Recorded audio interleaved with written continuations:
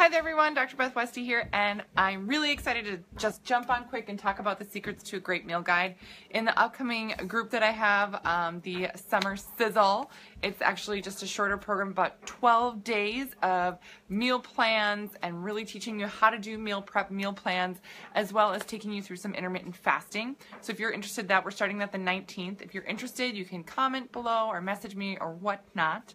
Um, but meal guides and meal planning is one of the number one things that I know people struggle with and have a really hard time with because it's really important to keep you on track. If you're not prepared for the day, it's really tough to stay doing the right things to keep you moving towards your goals if you're not prepared for the day. And then even if you are prepared for the day and you you know move forward with the best intentions stuff still happens and you're like oh my god what happened? How did my day get out of control? Uh, i can't even i can't even stay on track now. What the heck? So the more you can plan and the more you can plan for backups the better. So here are the basic things to really include in a meal plan guide. When you're meal prepping, when you're trying to throw food together, and for those of you moms that um, have kids at home for the summer or going to camps or you're going to be running around doing things, these are a few great tips to kind of keep in mind that you want to include in your meals and, and everything else. Um, tomorrow I'll be going over some great snack ideas too because those are really important as well.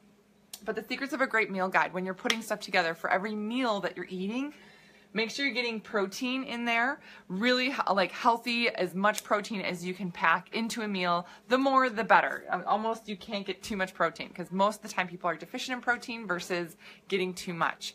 So any types of healthy proteins, whether it be from a dairy source or, you know, a meat or beans or nuts or seeds or whatever that may be, protein and again amounts may be different if you've got kids a lot of times kids don't eat the same amount of protein as you do um, but you know, for growing bodies, they still need a lot of protein, but that's the number one thing to include in your meals. Making sure you're getting healthy fats as well. Um, a lot of times, this is a category that people either overshoot or undershoot. So it's really tough to know where you're at unless you're, again, planning for that or just kind of keeping it in your head. Okay, these are the four things that I need to grab, I need to have as part of my meal. Okay, healthy fats is one of them. Where can I get that? If you can't include it in your meal, have a fat bomb great. It's you're still eating it around the same time as your meal, perfect. It doesn't have to be part of the dish. Just add that in there at the same time that you're eating. Add a fat bomb if you can't get it in. And then a carb, some type of healthy carbohydrate.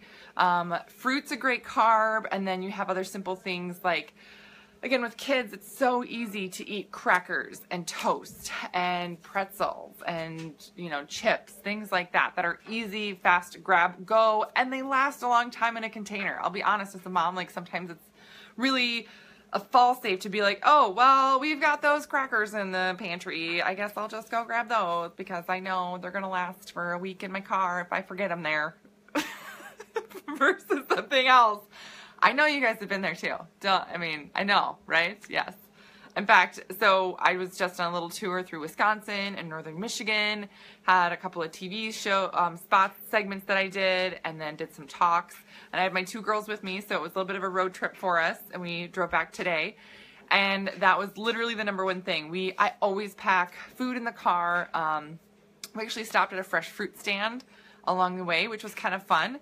Um, got like nectarines and cherries and bananas and all this fun stuff, right? So that was fruit.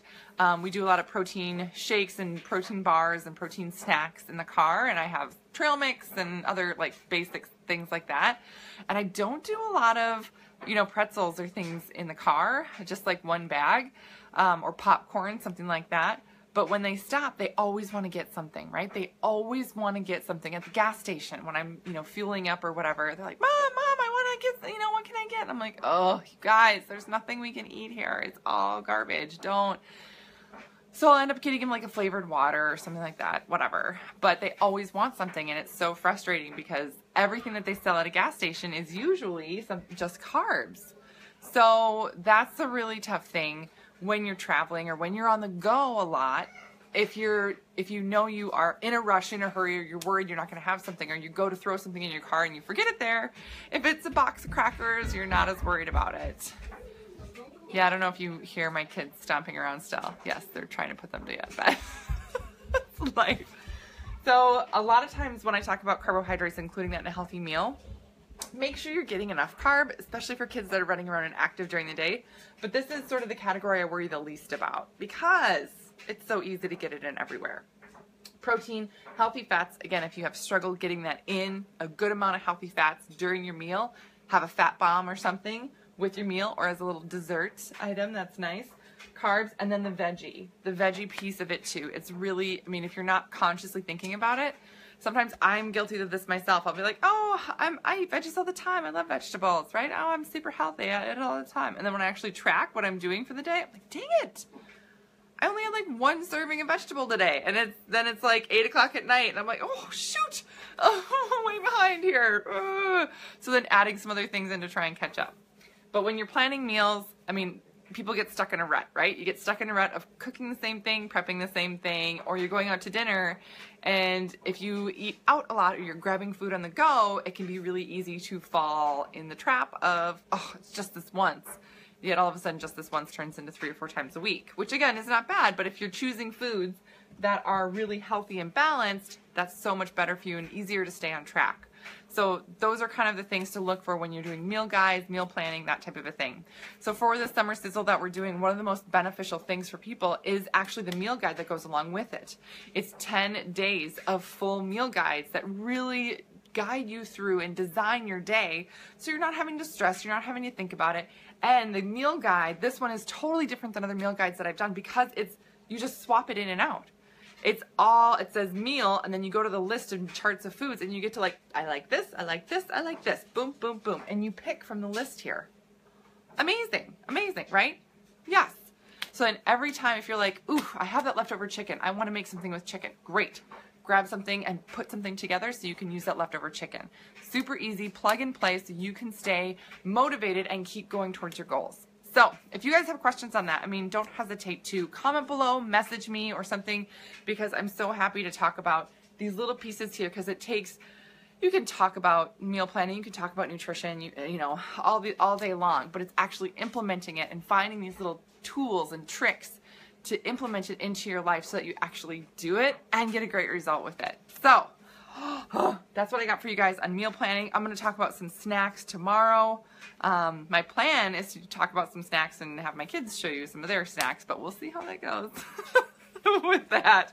Um, yes, but if you guys have questions, don't hesitate. Otherwise, everybody have a great night, and I will see you guys tomorrow.